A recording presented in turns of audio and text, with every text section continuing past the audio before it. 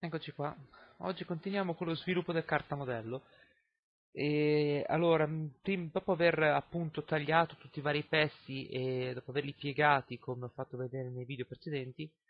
dovremmo avere tanti pezzettini già piegati che eh, appunto ci aiutano molto a capire un pochettino come si sviluppa il tutto e per non perdersi. Allora, eh, L'importante per iniziare prima di incollare non sono incollare i pezzettini così piccoli, sono da mettere tutti da parte, ma i pezzi grossi sono da iniziare a incollare nei punti di giunzione. Ci sono dei punti molto grandi, ad esempio come questo pezzo qui, che sono tutto un pezzo unico e che bisogna prepararli appunto prima, come in questo caso le varie pezzettini che permettono di fare un'angolatura sono da fare eh, prima, in modo che lo incolliamo, il tutto sarà un pezzo già unico e magari si può anche partire proprio da questo pezzettino qui, per poi costruire tutto il resto. Ad esempio io in questo qua dovrò fare questo qui prima di tutto e incollarlo tutti insieme, come altri pezzi che sono fatti apposta per essere incollati fra di loro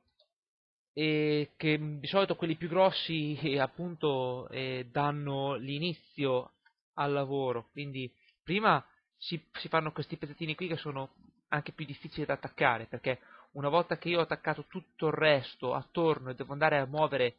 tutta la massa del, di quello che ho fatto io e per andare ad attaccare dei pezzettini così piccoli diventa molto difficile invece avendo un pezzettino di queste dimensioni uno lo può girare come vuole e quindi eh, ha più velocità nel lavoro. Quindi prima si attaccano, mi raccomando, tutti i vari pezzettini, cercateli tutti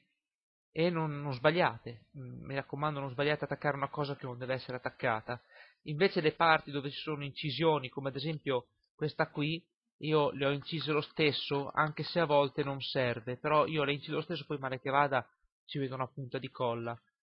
Allora, ehm, a volte capita che nei carti modelli ci siano degli errori, errori nel senso che chi l'ha strutturato o anche il 3D stesso eh, può avere dei problemi, di conseguenza si possono trovare dei punti accavallati, come in questo caso, e questo qui era un pezzo che era tutt'uno, ma non riuscivo a capire perché c'erano dei doppi, e ho deciso quale dei due tagliare e poi semplicemente ho ricostruito con un pezzo di carta. Inizialmente ci ho messo dello scotch di carta, poi ci metterò una toppetta di eh, di carta con un po' di colla e fisserò il tutto. Una volta eh, che abbiamo appunto tutti i pezzi pronti, attacchiamo la nostra colla a caldo, la nostra pistola e iniziamo il lavoro.